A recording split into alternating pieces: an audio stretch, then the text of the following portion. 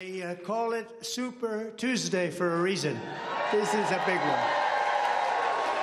And they tell me, the pundits and otherwise, that there's never been one like this. There's never been anything so conclusive. This was an amazing, an amazing night, an amazing day. It's been an incredible period of time in our country's history. It's been sad in so many ways, but I think it's going to be inspiring because we're going to do something that, frankly, nobody's been able to do for a long time. We've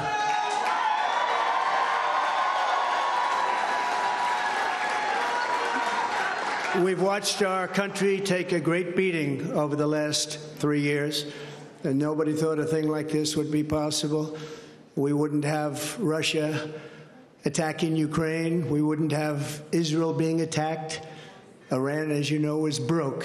When I was running things, they were broke. They didn't have money for Hamas. They didn't have money for Hezbollah. We had no inflation. Inflation is destroying the middle class. It's destroying everything. Inflation, if you look back over the history, hundreds of years back, it's called inflation It's called a country buster.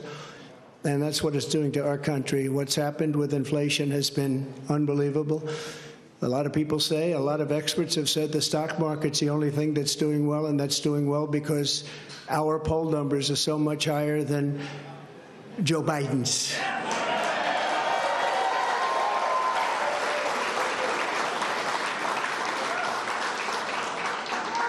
He's the worst president in the history of our country. There's never been anything like what's happening to our country. Today it was announced that 325,000 people were flown in from parts unknown. Migrants were flown in airplane, not going through borders, not going through that great Texas barrier that I was with the governor of Texas, Greg Abbott, the other day, and we were looking at the job they're doing, but in the meantime, they're pouring into California and they're pouring into Arizona because those governors aren't doing anything. They're doing nothing. But today it was just announced before I came out. It was unbelievable. I said, that must be a mistake. They flew 325,000 migrants, flew them in over the borders in into our country. So that really tells you where they're coming from. They want open borders, and open borders are going to destroy our country. We need borders and we need free and fair elections, or we don't have a country. Uh, this is an incredible group of people. So many celebrities that I'm not going to introduce any because I'm just going to get myself in trouble if I do that because I'll leave out most of you. But we have this is a room chock full of incredible, talented people, like some of the guys standing right in front of me, right? Big, big futures, big, fat, beautiful futures. Oh. I'd love to be your age. I'd pay you a lot of money to be your age. But we have uh, we have some tremendously talented people in this room, including tremendously talented political people that have helped me right from the beginning. We had the safest border in the history of our country. We built 571 miles of wall. We had Mexico supply us with 28,000 soldiers because we we wanted them, that's why. And they said, uh, We won't do that. I said, Yes, you will, you will. And in the end, they did. It was an easy negotiation, but we had the safest border, the best numbers we've ever had, and now we have the worst numbers probably, probably in the history of the world. It's uh, sad to see what's happening to our cities. Our cities are being overrun with migrant crime, and that's Biden migrant crime. But it's a new category of crime, and it's violent where they'll stand in the middle of a street and have fistfights with police officers. And if they did that in their countries from where they came, they'd be killed instantly, instantly. They wouldn't do that. So the world is laughing at us, the world is taking advantage of us. Three years ago, we were at a level, we were energy independent, We are going to be very shortly energy dominant, and today we're getting oil from Venezuela. Can you believe it? And we're doing numbers on that oil. You know what we're doing? We're refining the oil. We have our refinery for that oil. It's really, I call it tar. It's not oil, it's terrible. We have real stuff. But we're refining it in Houston. So, for all of the environmentalists, you ought to look at that because all of that tar is going right up into the atmosphere. You just ought to take a look. It's the only plant that can do it. We have the only plants that can take tar and make it into oil, and that's what it is. It's a shame. But we were energy independent. We were going to be energy dominant. We were going to be supplying oil to Europe, all over the world. And then a tragic thing happened during the election. It was a tragedy because you wouldn't have, think of it, all of the problems that you have today, I don't think you would have had any of them. You'd only have success. And that's what's ultimately going to unify this country and unify this party. We have a great Republican Party with tremendous talent, and we want to have unity, and we're going to have unity, and it's going to happen very quickly. And I have been saying lately, success will bring unity to our country, and it happened before. We had the best economy our country's ever had, and people were calling me that I would have said will never happen. It'll never happen. They wanted to get together African American, Asian American, Hispanic American, women, men, people with diplomas from the best schools in the world, and people that didn't graduate from high school. Every single group was doing better than ever before. And it was a beautiful thing. Our country was coming together. Our country was coming together. And now we have a very divided country. We have a country that a political person uses weaponization against his political opponent. Never happened here. It happens in other countries, but they're third world countries. And in some ways, we're a third world country. We're a third world country at our borders, and we're a third world country at our elections. And we have to stop that. We need a fair and free press. The press has not been fair, nor has it been free, but maybe someday they will be. They're being beaten up pretty badly. People aren't trusting them, they're not believing them. And really, it's a very important factor. Uh, the press used to be the policeman, it used to police our country. Now nobody has confidence in them, and we have to get that confidence back. It's so important for the success of our country. So important.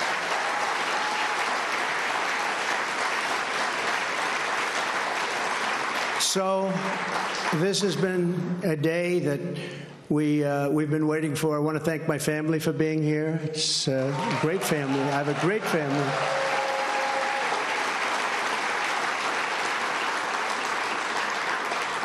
They've had it very easy since I decided to run for politics. They say, Thanks a lot, Dad. We appreciate it. But they're strong and they're very capable people, and they, they love the country. They really do love the country, and we appreciate it. And I want to thank everybody, my staff, uh, Susie, Chris, incredible job. Incredible job you're doing.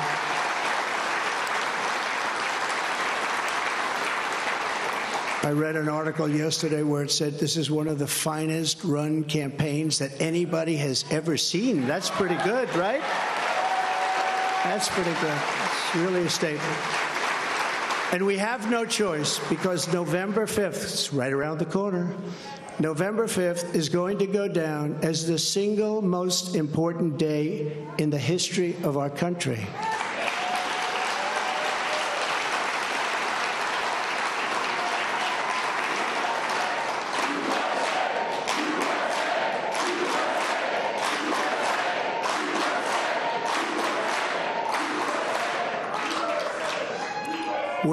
To take it and we're going to make it like it should be, respected. Right now, we're not respected. Right now, our country is known as a joke.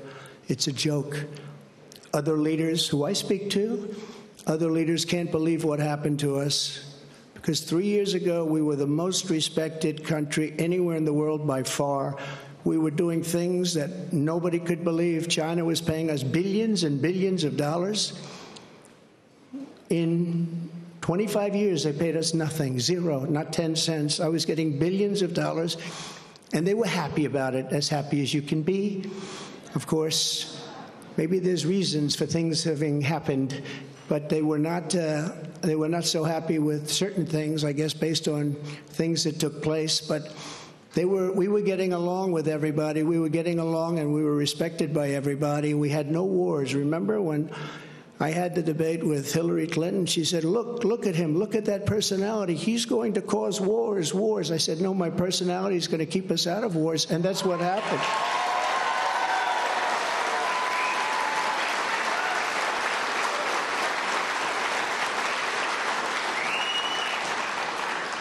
For 20 years, they were fighting ISIS. I defeated ISIS in four weeks. I got rid of ISIS 100%. 100% of the ISIS caliphate. And we had no wars, and we stopped wars. We weren't getting along with a lot of countries. All of a sudden, North Korea, which is a serious nuclear power, but North Korea came along. Kim Jong un, we got along very well. We got along very well with China until COVID. That was a little bit too much, as far as I was concerned. That was too much. Couldn't take that one. But we made a trade deal with China that I don't even talk about. $50 billion a year in product they bought from our farmers, our manufacturers. They used to buy 10. I got 50, and it was great. But COVID, uh, I, I don't even talk about that because COVID was such a horrible thing. It started in the Wuhan labs, just as I said, the Wuhan labs.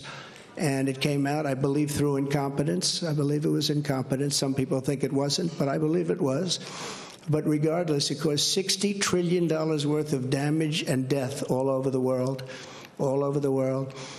And we did a fantastic job on that. We never got credit for that unbelievable job on that. We came up with things that nobody thought was possible. Don't forget, when it came in, nobody had an idea what it was. They didn't even use the word pandemic. Nobody had an idea. But we did a fantastic job. And we got a lot of credit for the economy, a lot of credit for our foreign policy. I think credit like nobody, very few people have gotten. And the press was very honest about it. They gave us very high marks on foreign policy, the Abraham Accords, so many different things we did. But we, uh, we never got the kind of, of due that we should have for the COVID, or as I call it affectionately, the Chinese virus, the China virus, which is a much more accurate term. And despite that, the stock market, when we turned it over, the stock market was higher than it was prior to COVID coming in. It was an amazing thing. We did an amazing job, and uh, we have so many people that worked on that. So many of the doctors, so many of the scientists that worked with us on that. It, it was really, really something. But there's never been an administration that had more success in so many different elements. We got the largest tax cuts in history. We have the largest regulation cuts in history. We rebuilt our military. And what happened, we rebuilt our entire military and uh, beautiful. We had jets, jet fighters that were 53 years old, and we had all brand new jet fighters. And then uh, after this other group of people that didn't know what they were doing, they took over, and we had that horrible uh, surrender in Afghanistan. I call it a surrender. We took the soldiers out first. You know, I dealt with the leaders of the Taliban in Afghanistan. They were the ones that were causing the trouble. The press was very angry because they said, Why are you calling them? I said, Because that's where the problem is. I say oftentimes, I say, they asked Jesse James, Jesse, why do you rob banks? He said, Because that's where the money is. And I said, that's where the problem is with the Taliban. And I spoke to Abdul. He's still the leader, believe it or not. He's really the leader of Afghanistan, but he's the leader of the Taliban, a rough group. I say, don't ever shoot our soldiers again. Don't ever do it. Very interesting. What happened is that, uh, you know, we were having, during the Obama administration, previously, uh, they were shooting a lot of our soldiers. And I let them know. I said, don't ever, ever let that happen. I said, very, in a rather nasty fashion. We don't have to go into it tonight. For 18 months, we lost nobody in Afghanistan. And then we had that horrible, horrible withdrawal where we lost 13 soldiers, 38 horribly wounded, left Americans behind. You know, you have Americans right now still behind. Call them hostages if you like. It was a terrible moment. We left $85 billion worth of brand new, beautiful equipment behind jets and tanks and everything you could think of goggles, night goggles. They didn't used to fight. They're good fighters. They didn't used to fight at night, but now they do because they have goggles. They have better goggles than we have. So I just want to uh, tell you that led to a lot of bad things, and now the worst things are happening. The things that are happening now are unthinkable. and they're unthinkable at the border. We have millions of people invading our country. This is an, ev- an invasion. This is the worst invasion, probably. We've never had anything like it. No country has ever had anything like it. The number today could be 15 million people. And they're coming from rough places and dangerous places. And we had that shut down. We had everything going so beautifully. When Joe Biden goes to the beach, because somebody on his staff thinks he looks very good in a bathing suit until he can't get his feet out of the sand or lift the chair, which weighs about nine ounces. Joe Biden, if he would have just left everything alone, he could have gone to the beach. He would have had a tremendous success at the border and elsewhere. So we're going to take back our country. We're going to make sure.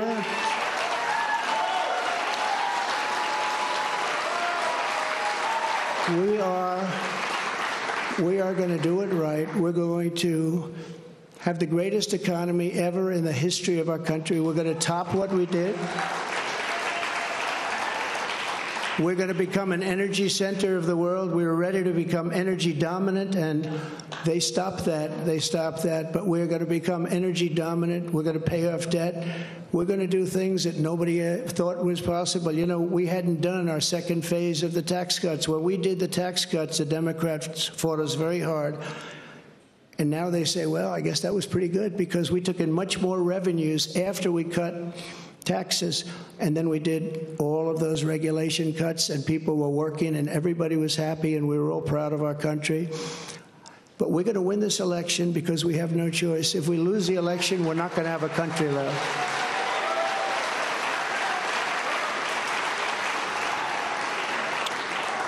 And we're going to do something. Thank you very much. We love you too. And we love our country. And we can't let this magnificent, some people call it an experiment. I don't call it an experiment. I just say this is a magnificent place, a magnificent country. And it's so sad to see how far it's come and gone. When you look at, when you look at the depths of, of where it's gone, we can't let that happen. We're going to straighten it out. We're going to close our borders. We're going to drill, baby, drill. We're going to get the inflation down. And we are going to make our country greater than ever before. And we're going to do it quickly. We're going to do it quickly. It's going to go fast. We have to get the criminals out. We have many, many criminals that have entered our country. We have people coming in from such such bad places, and we're going to have to get them out. We have murderers that are being deposited into our country. We have drug dealers at the biggest and highest levels that are coming into our country. We have people coming into our country that just shouldn't be here, but many, and I say many, large percentages, they come in through the caravans, they come in many different ways. Now we find out again, they come in through airplanes, we send them in. This is crazy. But they come into our country, we're going to stop them. We're going to close our borders. We're going to have to deport a lot of people, a lot of bad people, because our countries can't live like this. Our cities, our cities are choking to death. Our states are dying, and frankly, our country is dying. And we're going to make America great again, greater than ever before. Thank you very much. It's been a big night. Thank you very much. Thank you.